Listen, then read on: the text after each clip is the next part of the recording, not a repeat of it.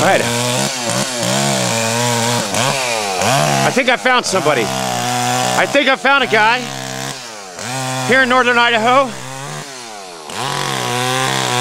Somebody to ask about the polling here in northern Idaho.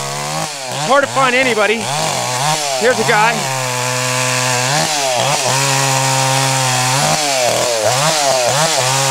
Excuse me. Uh, I don't want to disturb him. He dorking saw there. Excuse me. Hello. Uh, excuse me. Excuse me. I, I, excuse me. Hi, hi. I, I had a question.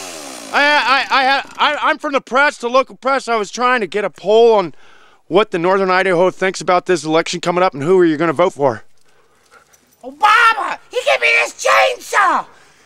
You don't qualify for welfare, food stamps, social security. He give you a chainsaw, tell you to take care of your own damn self.